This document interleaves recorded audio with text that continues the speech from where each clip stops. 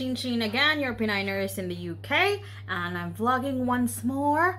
Um, I said to you in my last video when I cooked my carbonara um, that I'm going to be showing also the common condiments that we have and we have as a Filipino British home or household. Um, this holds dearly. This video is going to be, I don't know, it's just going to be a very random and very uh, laid back kind of vid video. Uh, um, I'm sorry. If there are informations that you're not in agreement with say for example for the you know the kind of of of herbs and spices and how it is used well this is how I do it and this is how we use it. So just sit back and relax and enjoy. Guys to this corner. I'm not going to show the rest of my kitchen. Um, just the usual part of it that um, uh, where all my condiments are and some of the household um, staples that I have. Um, from this side, on that corner, of course, is our cereal.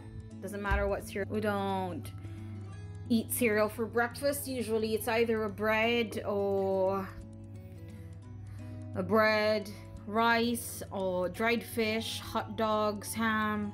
It's always paired up with rice or sometimes it's pandesal and coffee or any hot drink or sandwich in the morning. Some people don't eat breakfast.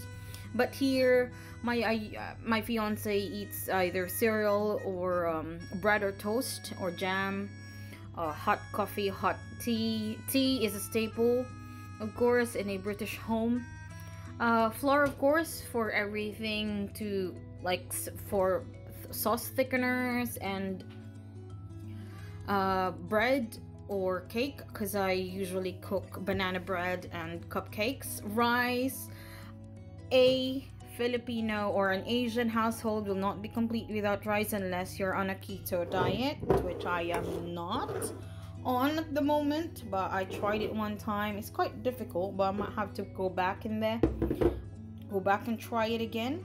So I ran out of one of the condiments in there that's my beef cubes so I have to go downstairs and get some more. And chicken cubes a Filipino or an Asian um, household needs to have a lot of condiments and and I also got another cereal in here which is my favorite bran flakes and dried fruits. And very important mortar and pestle for grinding those herbs and spices. Panko. Panko is basically breadcrumbs. Panko bread uh, no this is not panko. This is actually is it panko? But it's just a basic breadcrumbs um, I love cooking katsu curry, either chicken, yeah, chicken katsu curry, and I use panko for breading. Now, if you're gonna open my cupboard, you can see it's all, it's full because I love condiments so much. Um, and that any cuisine or any cooking or any dish will not be complete unless I have the right condiments and I'm so obsessed with buying new ones and discovering new ones. So let's start from the top. Um, that is basically just pasta, glutinous rice, which I'm running out in a Filipino or an Asian household. Also glutinous rice because we make desserts out of it. That one is a, um, what is that one? Wow, the label came off. Label came off. Um, that's basically a Jamaican it's a Caribbean um, general seasoning, all-purpose seasoning, I would say, not general.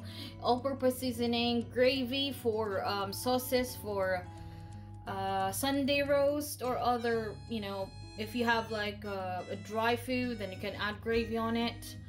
Um, chicken, that's a chicken mix, fry mix.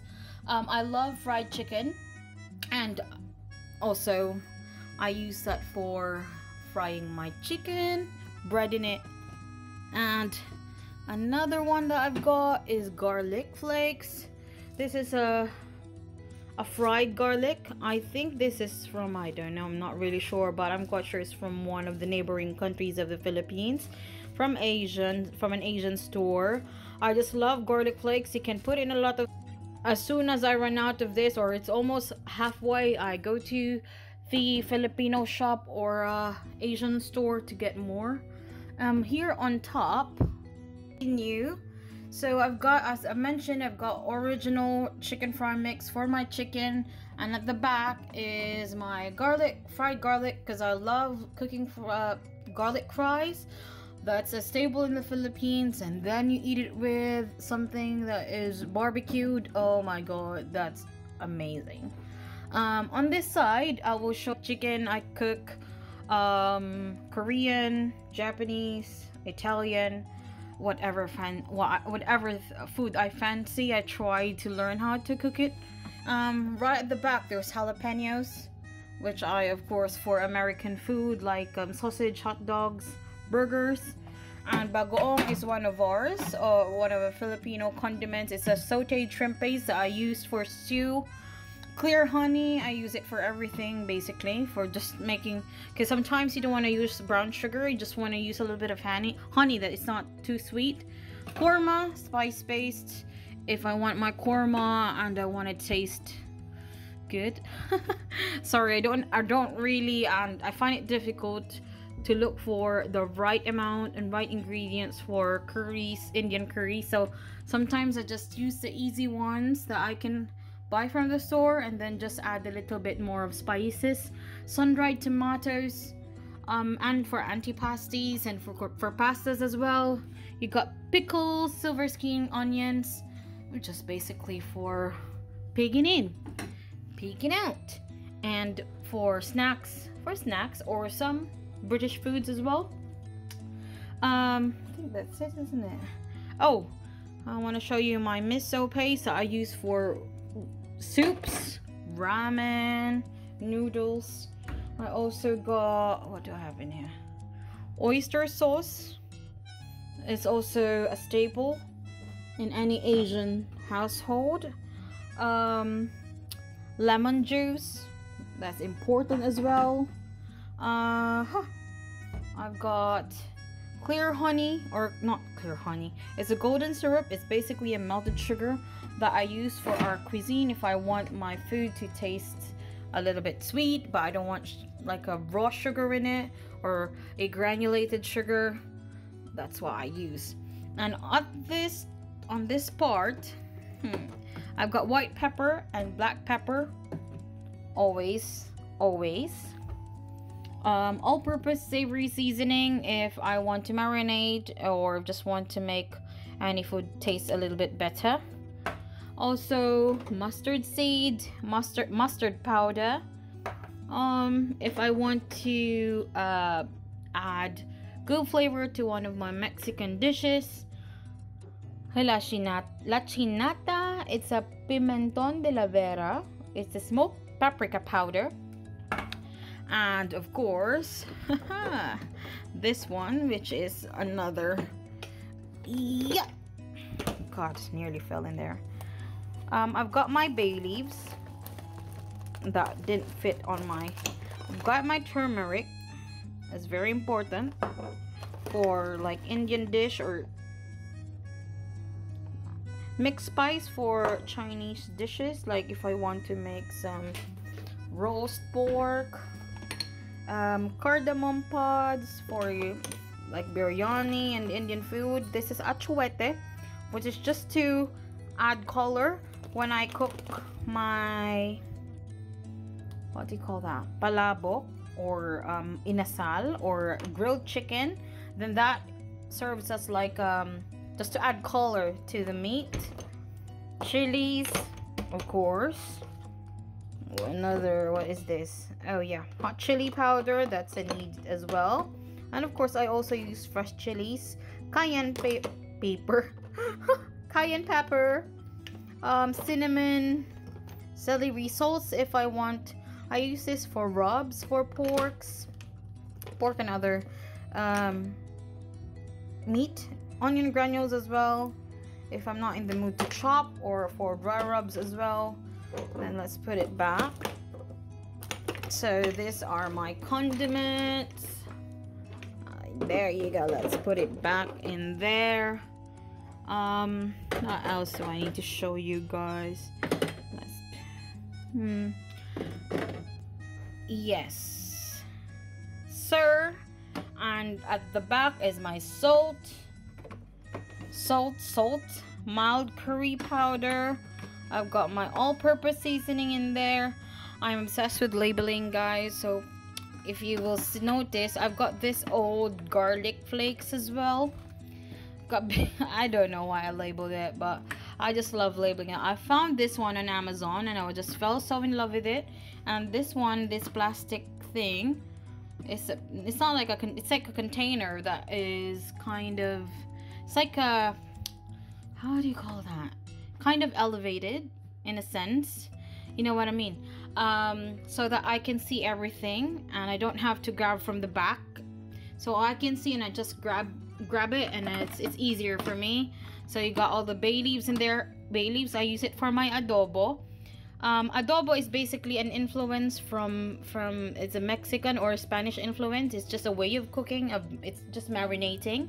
So you can cook adobo with meat uh, with meat like such as pork pork fish uh, chicken yeah and then marinate it in soy sauce and vinegar. Um, in my family our recipe is that we add sugar in it or we add pineapple juice to make it really nice and tasty. Um, I've got cayenne in here as well cumin thyme for my Italian dish. Uh, onion powder garlic garlic granules if I want dry rub parsley of course nutmeg if I want my uh, my lasagna oregano, thyme, and five spices there, but I think I accidentally put garlic flakes in there as well. I've got vinegar in here, cooking oil, vinegar, soy sauce at the back. Our vinegar, this is a Fili Filipino vinegar. As you can see, it's not clear. It's kind of opaque. I've got virgin oil at the back for my salads. I've got fish sauce in here that is running out. Um yeah fish sauce. Oh by the way i've got another big bottle of oyster sauce because i use it for like chow meins noodles vermicelli um, you know asian noodles. Datu Puti vinegar this is a brand that I, I usually get from an asian store. It's a cane vinegar and water on this side so i've got this um what do you call this thing again? This is a rotating thing. I forgot the name. Is it is it Mary? Oh god, please. I can't remember anymore. But oh Lazy Jane. Lazy Susan. Lazy Susan. That's what. oh my goodness. Right, so here I've got a lime juice. So lime juice is very important. It's like a lemon juice, but it's, uh, it's smaller. So we this is from the Philippines. Yeah, this one is hot chili sauce. I'm just gonna put it down so you can see the ones in the middle. I've got my raspberry vinaigrette vinaigrette it's uh, for my salads because i love beetroot and feta salads lemon juice again i love losing using lemon juice for everything um sometimes i use the fresh one as well but if i don't have the time who's got the time right I've also got pure sesame oil. This is usually or most commonly used in Korean cuisine. I use it for my marinades. Le Worcestershire sauce, of course, when I for steaks. Balsamic vinegar for my salad. This is uh, on this side. This is the chili sauce, Chinese chili sauce. Um, uh, balsamic vinegar uh, this is a, a Mang Tomas, which I it's an all-purpose sauce that's made from liver, from liver and um, soy. Sugar added to it and other seasoning, and I use it for uh, crispy pork or yeah, anything that's crispy, crispy pork or barbecued stuff. Mirin also is for marinade for uh, it's a Japanese um, ingredient for marinades and sauces. Um, hoisin sauce is it's a Chinese um, sauce as well that we use for a lot of stir fries. Yeah, so let me put it back in there because it's it's confusing me now. right. So let's come up here. Maggi, it's basically an all-purpose seasoning. It's uh, like soy sauce, but much better. It's a hybrid of soy sauce and seasoning, other seasoning. Um, fish sauce. It's a uh, yeah, it's quite common in Thai, Thai or Vietnamese dishes, uh, cuisine or dishes. Uh, but it works for Filipino dishes as well. Um, what else? You got your um, did I, already mentioned the Worcestershire sauce. Let's put this back now. Um, yeah, your Cholula hot sauce, your sesame sesame oil, Shaoxing, Shaoxing rice wine. I use it for um, what do I use it for? Um, also marinades and sauces. Um, li uh, liquid seasoning as well. I use this as well. Um, it's just basically a seasoning but it has lemon in it but that's uh that's also good for cooking some Filipino dishes um that's it lemon this one is I already mentioned that balsamic vinegar mirin is a Japanese one teriyaki it's a Japanese one as well. I use it for marinating meat or barbecue hoisin hoisin hoisin. Um of course our lemon juice and another my fish sauce I'm running out of as well. So yeah these are the condiments that I use. Um, I'm thinking of expanding more and using more condiments or using more ingredients that is um, not only limited to Asian and Italian or you know I'll probably explore more and see how it goes. Thank you and hope you enjoyed this video. Sa malakad mo? Sama sa'yo sa palengke. Palengke? Mamamalengke ka, ganyan kakapal ang makeup mo? Bakit tingin mo liligawan ka ng mga karne? Tingin mo sisipulan ka ng mga isda? Kung ganyan itsura mo, wag ka na lang